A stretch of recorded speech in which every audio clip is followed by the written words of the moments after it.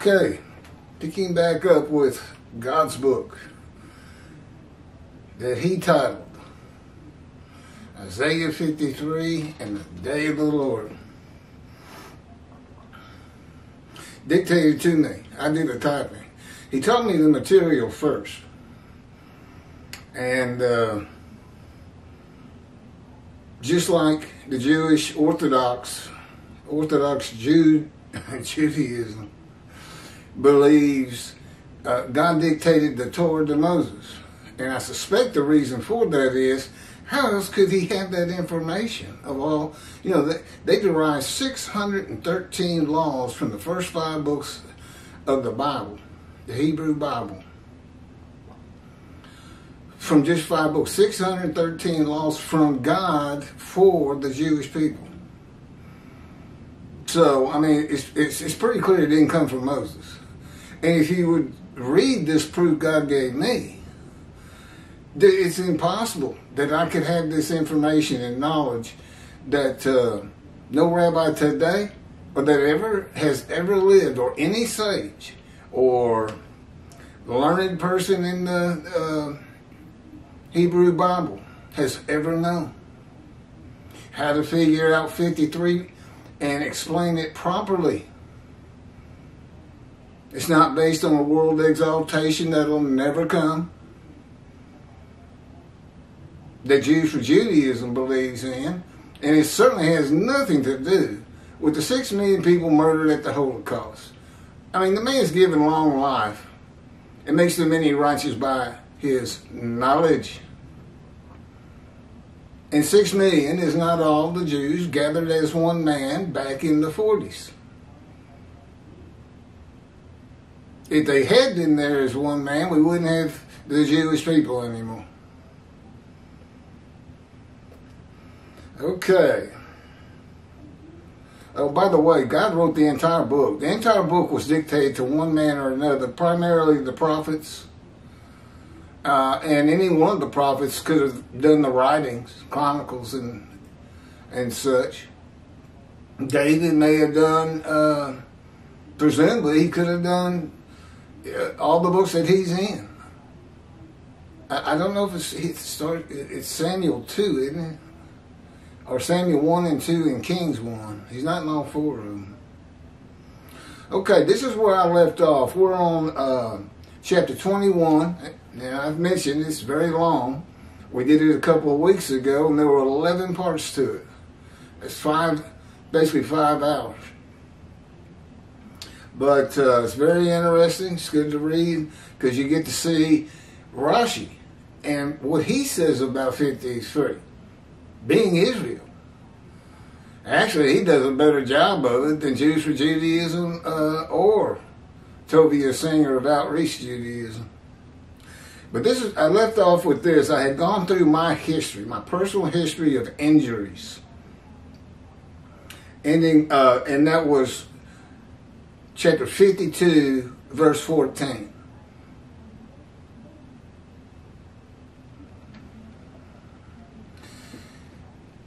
And concluded with this paragraph. This is how a man could fit the description of the Lord's righteous servant in Isaiah 53, 14. And just so he shall startle many nations. Kings shall be silenced because of him, for they shall see what has not been told them, shall behold what they never have heard. And we and then we got into what all that could be. This is 52 15. So shall he cast down many nations. This is Rashi's version in the Bible he's using, not the JPS. Looks like he doesn't have a very good translation either. So shall he cast down many nations. Kings shall shut their mouths because of him. For what had not been told them, they saw. And at what they had not heard, they gazed. Rashi, Midrash form. What has not been told them. That's breaking down a verse into parts and then commenting on the different parts. This is commentary concerning any man they saw in him.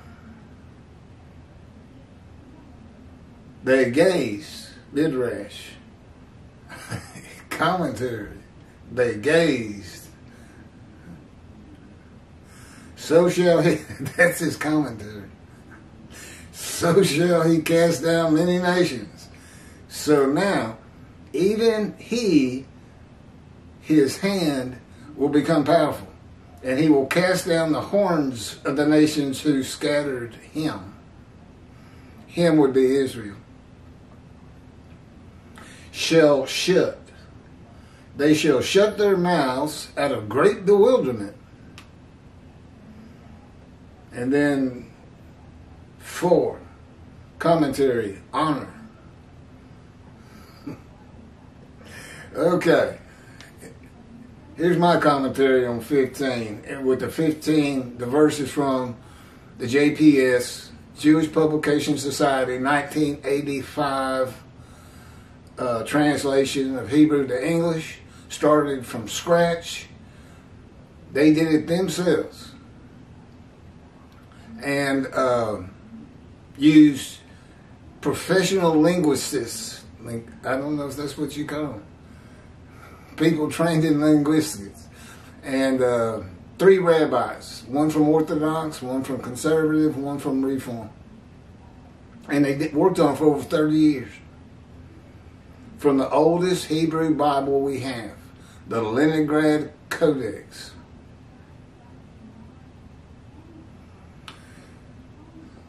Just so he shall startle many nations, just so we're so appalled at him I was 14. Well,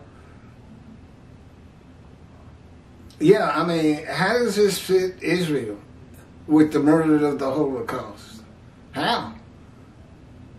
How's he going to startle anybody being murdered, the, the Jewish people? And make the many righteous. Kings shall be silenced because of him. For they, yeah, I don't think we even, I don't know if Toby even covered 52, 13 through 15. I don't know it. I mean, he may well have. For the, just so he shall, kings shall be silenced because of him. Nations, the Gentiles. When you see nations in the Hebrew Bible, it means Gentiles. Startled and kings, leaders of nations, silenced by seeing God's righteous servant God's servant David, a shepherd, Moshiach, and the prophet like Moses as one man. Where's Elijah? Oh, and Elijah. Four righteous servants to come, a description of only one righteous servant. I handle the duties of all four. Because you got to have a description. Even the sages knew that. They, they were saying Moshiach was the man described in 53 over 2,000 years ago. As one man. Okay, we've never heard that. And hearing that God's righteous servant arrives in the time to come of Jeremiah 31. Nobody seems to get that. I've never seen any commentary on it. And the day of the Lord. Arise in the time to come of Jeremiah 31 in the day of the Lord. That God's righteous servant is the only man to come who is described in the scriptures and is inherently and implicitly the anointed one, David, Elijah, and the prophet like Moses, of whom there is no description for identification.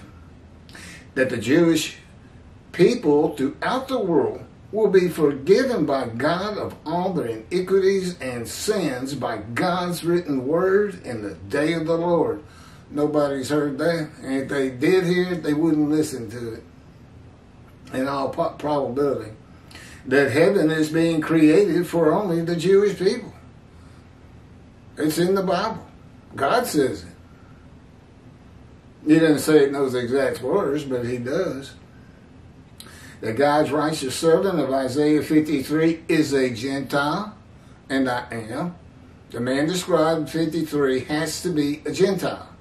He can't be six million murdered uh, Jewish people.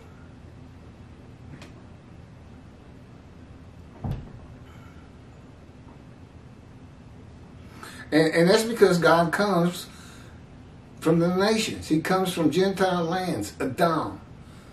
Edom. Founded by the children of Esau, the brother of Jacob who became Israel.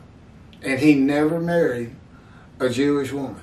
All his kids were Gentiles. And that's in another video. I've already covered that. And so, but he's got to have his representation. He's got to have his prophet like Moses. The righteous servant of God of Isaiah 53 is his prophet like Moses. And I've already covered his duties. God dictated two books to me. Well, that's what's unique about Moses. God dictated the Torah to him. That in the Exodus. But of course, we have no need of that today. And it's not just being a leader. Tovia Singer says Joshua was called a leader some 50 times in his book. So, there had to be a leader, but what makes him the prophet like Moses? Moses was far more than just a leader. He had God with him all the time, within him. Is a Gentile, according to the scripture, in the beginning that Jesus, being a Jew, cannot be God's righteous servant. That God's righteous servant is familiar with disease and crushed with disease, blemished, and can never be an offer for sacrifice. You think they've heard this? I don't. The nations, the Gentiles, the Christians. That a host, of the Lord's host, is a man in divine beings. That's in Joshua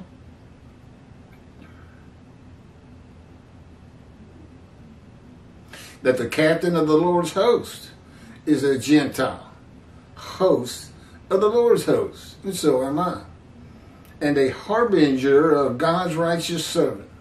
That would be me. Harbinger, a sign, a omen, something like that. A foretelling. Oh, you can find the video on it.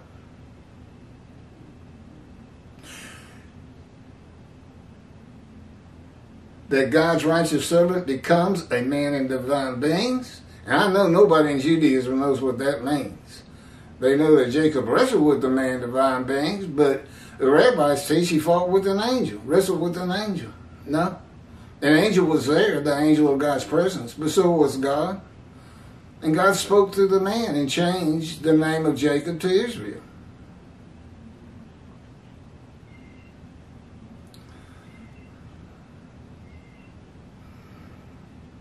the righteous servant becomes a man in divine being. It's the righteous servant, Moshiach. Isaiah 11. The Spirit of light's upon him. So God's righteous servant Moshiach becomes a man of divine beings when God's Spirit, who is the angel of God's presence, the angel of the Lord, and the Holy Spirit.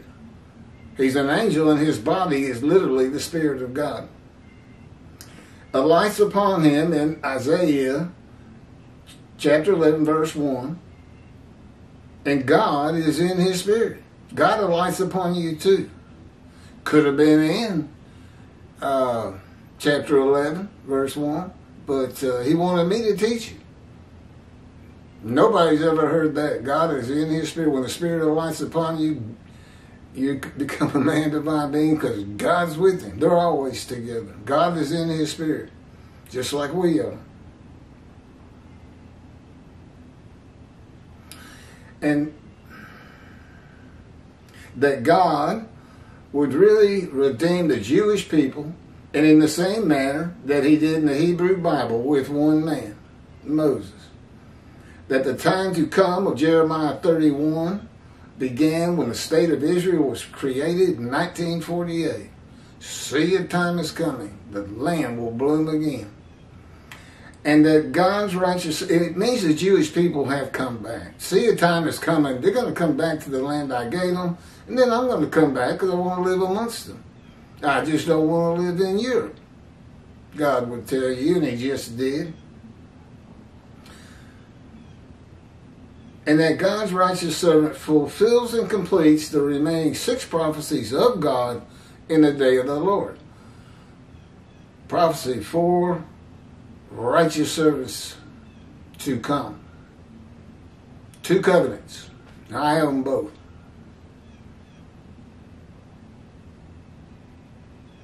Isaiah 50. Oh, we were going to stop there, right? Okay, this is going to be a real short video. But uh, I'm going to split this up and start with part. That was part six. So we'll be going into part seven.